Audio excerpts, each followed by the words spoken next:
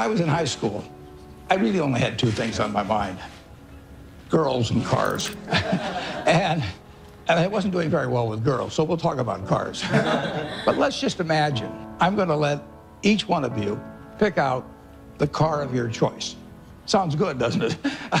Uh, pick it out, any color, you name it, it'll be tied up with a bow, and it'll be at your house tomorrow.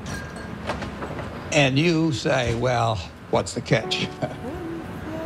and the catch is that it's the only car you're going to get in your lifetime.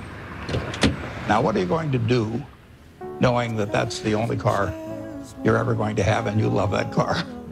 You're going to take care of it like you cannot believe. Now, what I'd like to suggest, you're not going to get only one car in your lifetime, but you're going to get one body and one mind. And that's all you're going to get. And that body and mind feels terrific now, but it has to last you a lifetime.